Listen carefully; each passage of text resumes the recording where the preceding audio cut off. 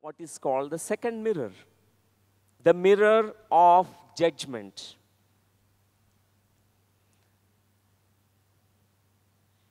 You have cleared from your conscious mind all that junk thoughts, negative thoughts, negative vibrations, but still there are emotional residues.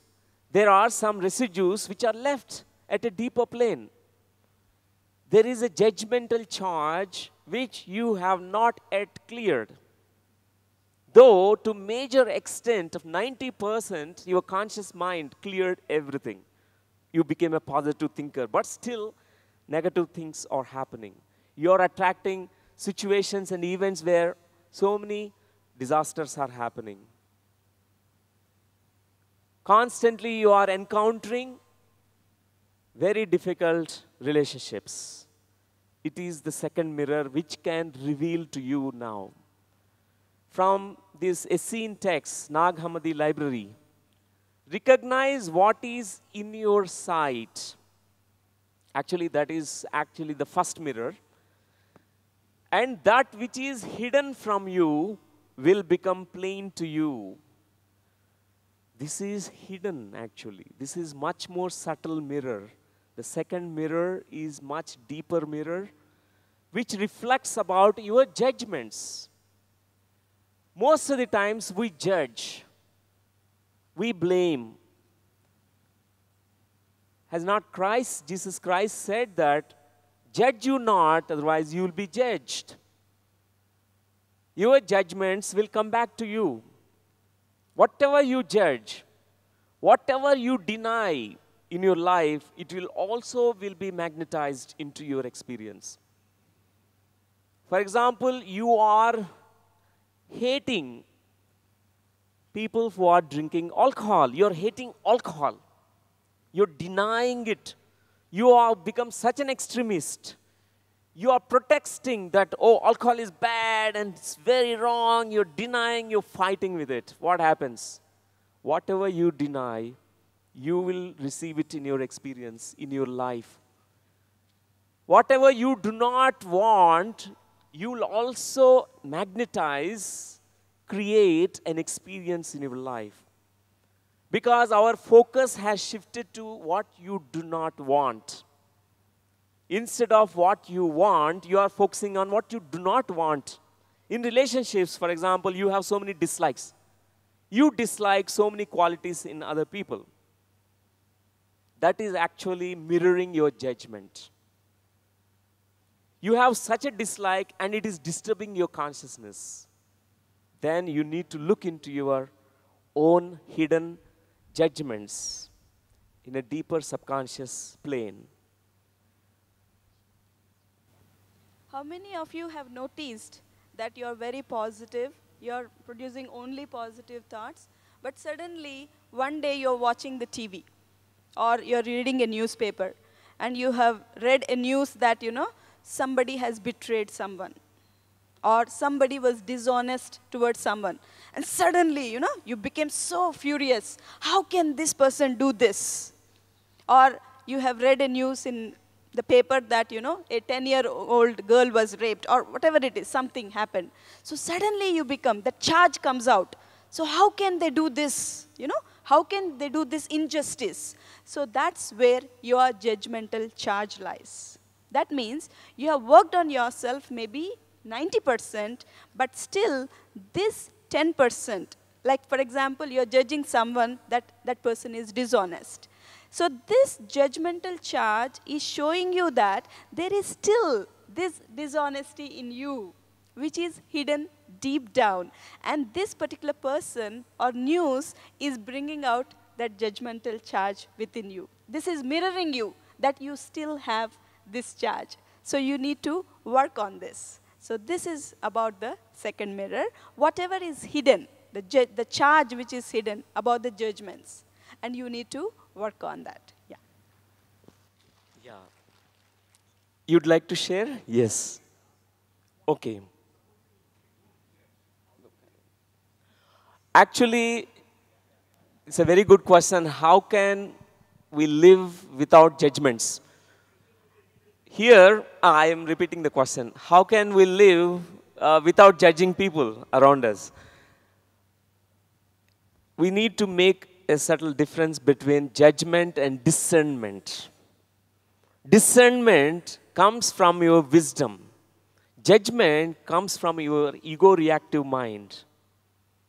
Your personality, ego that is so consolidated in you, which has so much of judgmental charge inside, is reacting and making some judgments. Judgment will disturb us, discernment will not disturb us. That is the subtle difference. So, just kindly look into this first, second mirror, the mirror of judgment. What are your judgments? What did you judge in your life?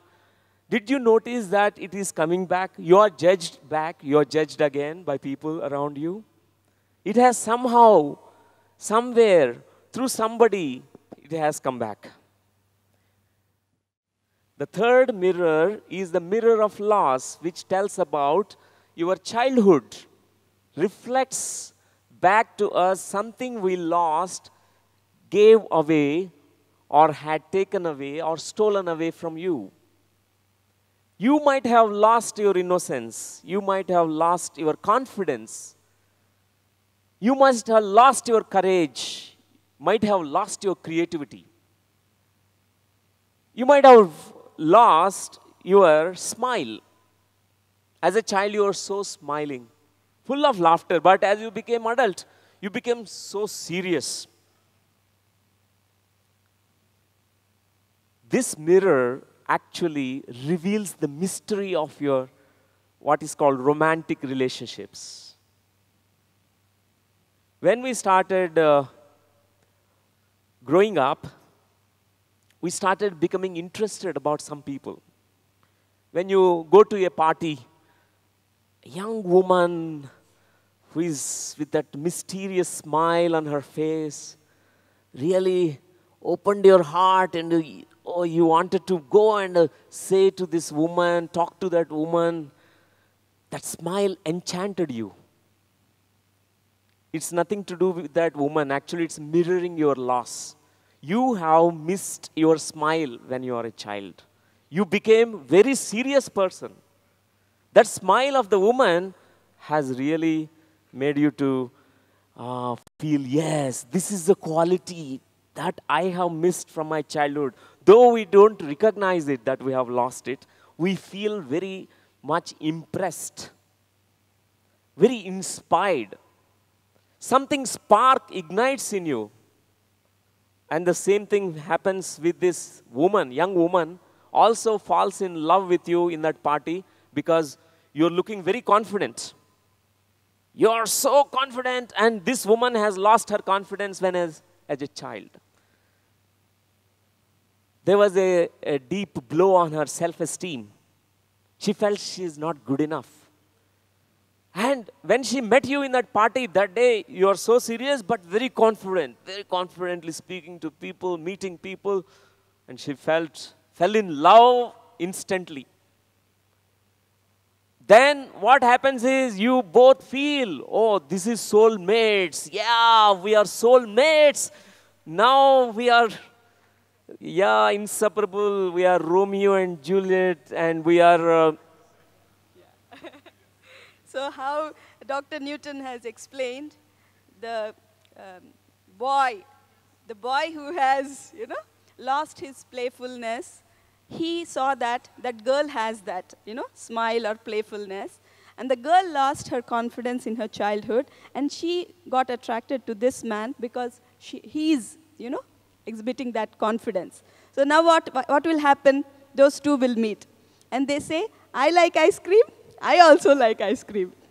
I like movies, I also like movies. You know, that's the sort of thing that will happen between them. But after one year, what will happen? Can you guess? Yes. Now they say, if the wife says, I like ice cream, the husband says, I hate ice creams. and if the husband says, I like movies, the wife says, I hate movies. Because they now understand that they got attracted because whatever they are missing in each other, they thought that other person will fill it. but it is not possible. The other person only has reminded you that this is the quality you have lost in your childhood or somewhere in this process. So now you need to find that within yourself. But what we try to do is we try to feel that that the other person will fill this loss. You know, that other person will complete us. And it never happens. And it is just a, you know, a dream. So that ne dream never gets fulfilled and we just fall out of love. So now we have to understand that this complement is reminding us whatever we have lost in our childhood or in our past, and we need to find it for ourselves. Then we can enjoy this relationship together. Yeah, thank you. That's wonderful. Other persons can never substitute, complete you. Though we feel, we tell this in our love stories that, oh, without you, I am incomplete. The other person can never complete. You are already complete, you have not yet recognized it. Every quality that you are finding very enchanting in others is already present in you, though you have not opened it in your consciousness. You have disowned so many parts of you. You have disowned your courage, intelligence, innocence, and uh, spontaneity, creativity, all this we have disowned as children. And we find it very interesting in people. You are inspired by certain people because you have not yet recognized it in your own consciousness. Most of the relationships are like beggar relationships. I tell you this because it really explains. A beggar is the one who has a lacunae, an emptiness, a lack wife and husband, they come together. Each one is trying to uh, ask love, give me love, give me love. Beggar, like asking, uh, beggar ask, give me money, give me money, give me this, give me that. And in relationships, we constantly uh, plead, give me this love, give me this love. How can another beggar can give you?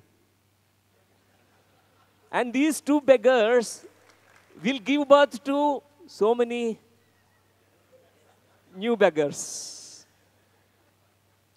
It's like perpetuation of the same lack. That's what happens. Relationships, we generally feel that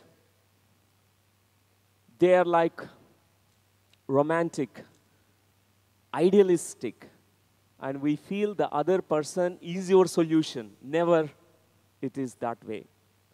This is called complementary relationships. Most of our these romantic affairs are complementary relationships. We fall in love and we fall out of love. Honeymoon period is over, all the back to the square, we again fight with each other. The same enchanting quality of the other person will no more make you happy after one year you will fight because you have not yet awakened that quality, that disowned aspect in your own consciousness. Your consciousness is the fundamentum, it has everything, it is the God, it is all in all. There is nothing that we are lacking in. Relationships will remind us this powerful insight. What we are looking in other people we have to find it in our own self. Who are your heroes and heroines? What inspires you in them? That is what you have to find in your own self, which is already there. Meditation is the way to find it. All these beautiful qualities are already there within us. That does not mean that you should not uh, have a romantic relationship. You should enjoy all relationships. You need to really love. Love becomes more of sharing than what is called as uh, this kind of uh, finding the, the joy and happiness, making the other person responsible for your joy. We make that in relationships. My wife, you must make me happy. How can wife can make you happy? How can she can make you joyful? Your joy is in you. She triggers the joy.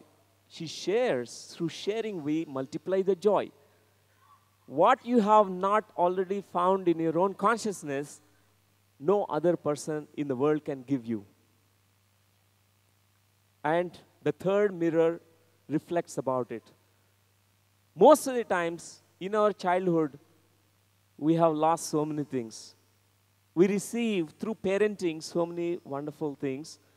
Through spiritual parenting, we really will be shaped and molded. If parents are more conditional, a child never experienced hugs. Never a child is touched and kissed and cared and given time. The child misses all these things. Child, you know, feels I am rejected, I am abandoned, I am lonely, and tries to fill this loneliness with so many relationships.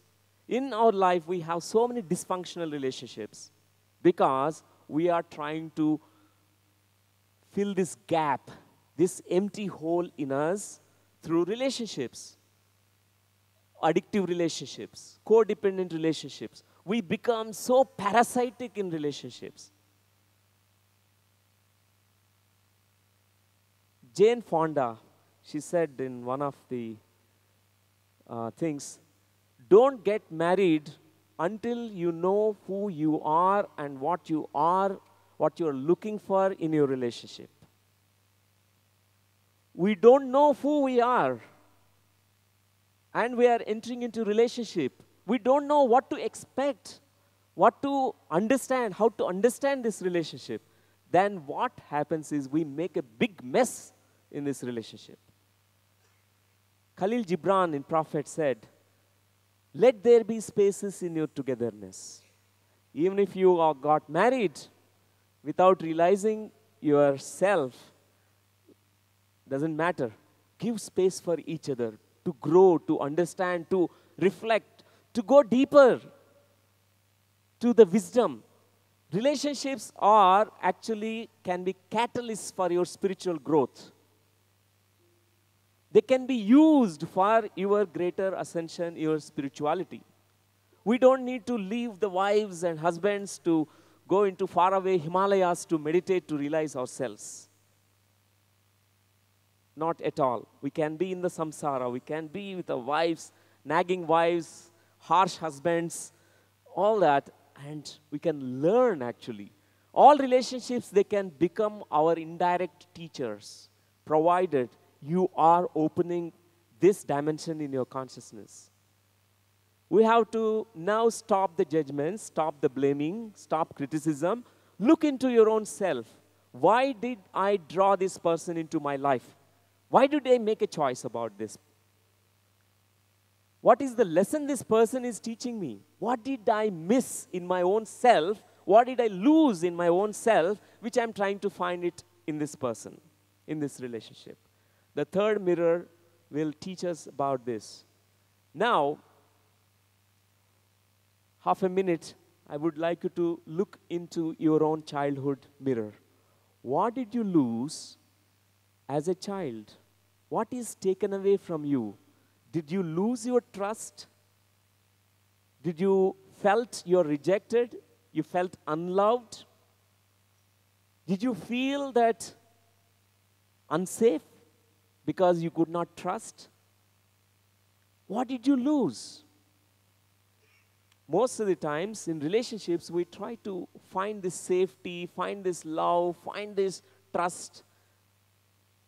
And what happens is, whatever that lacunae, emptiness we have, that will be revealed again in this relationship. Relationships are powerful catalysts. They are the powerful initiations. Socrates used to praise his wife, Xanthippe, a nagging wife. Not only nagging wife, she used to pour hot, hot uh, water, boiling water on his head. He used to have all bumps on his head because she used to hit him on his head. He used to praise his wife Because of her, I became a great philosopher. Somewhere she triggered his spiritual quest. Spirit tolerance levels increased. And he became impeccable master in his life. The so called difficult people in our relationships, they can serve a wonderful purpose. They can make you progress more than in your meditations. You may meditate for a decade, but this person, the wife who is with you, can teach you more, more than in a very short period of time, you will learn all those things. So it's a blessing in disguise. All difficult relationships, don't consider them, them as something very, very uh, disastrous. Take it as a blessing. Look from a different viewpoint. Look at that. Why did you attract this person? What choice you made to draw this person into your life? Because unless you have asked for this, it won't come into your experience. There is no other main rule in this universe. It is choice based. Sometimes we are making unconscious choices. Thought forms we project very unconsciously. What did you lose in your childhood? And the fourth mirror is about reflections of your most forgotten love. Your most forgotten love. Nag Hammadi Library says that which you have will save you, that which you have in you will save you if you bring it forth from yourselves. If you don't bring it forth in yourself, it will destroy you. The most forgotten love is the truth. The truth is loving yourself. If you don't love yourself, you don't attract people who are loving to you. It is about your most forgotten love, which is coming from many lives. Actually, this fourth mirror reflects patterns. What pattern is repeating in your life like a tape? I tell about few patterns. Victim pattern. Constantly you feel a victim, like a victim in relationship. Choicelessness. You always attract perpetrators, abusers. You put yourself down in relationship where you go through this abuse. Victim perpetrator pattern. Abandonment pattern. You feel you get in a, into a relationship after some time you feel abandoned or you are always landing up in the situation of abandonment everyone is leaving you alone, lonely.